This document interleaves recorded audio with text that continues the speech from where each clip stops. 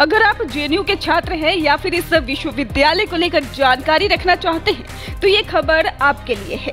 दरअसल, जवाहरलाल नेहरू विश्वविद्यालय, यानी कि जेएनयू, प्रशासन ने कई अहम फैसले लिए हैं। जानकारी के अनुसार, नए नियमों में परिसर में धरना देने पर छात्रों पर अब बीस हज़ार रूपए का जुर्माना लगाया जाएगा। अगर कैंपस में कोई छात्र हिंसा करता है तो उसका दाखिला रद्द किया जा सकता है।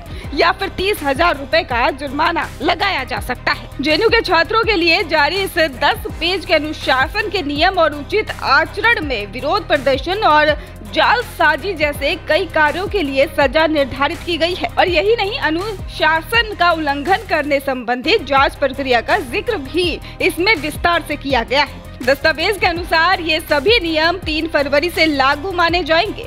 बता दें कि ये नियम विश्वविद्यालय में बीबीसी की एक विवादित डॉक्यूमेंट्री दिखाए जाने को लेकर हुए विरोध प्रदर्शनों के बाद लागू किए गए हैं। ये मामला काफ़ी दिनों तक मीडिया की सुर्खियों में बना था।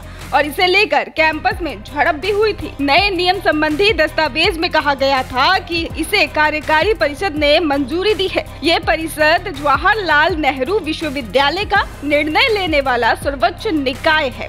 बहरहाल कार्यकारी परिषद के सदस्यों ने पीटीआई भाषा को बताया कि इस मामले को एक अतिरिक्त एजेंडा सामग्री के रूप में लाया गया था और उसमें ये उल्लेख किया गया था कि ये दस्तावेज़ अदालत के मामलों के लिए तैयार किया गया है।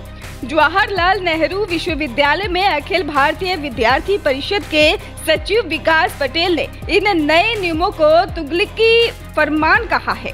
और वही इन नए नियमों पर जेएनयू के कुलपति शांति श्री डी पंडित की तरफ़ से अब भी किसी तरह की कोई प्रतिक्रिया सामने नहीं आई है।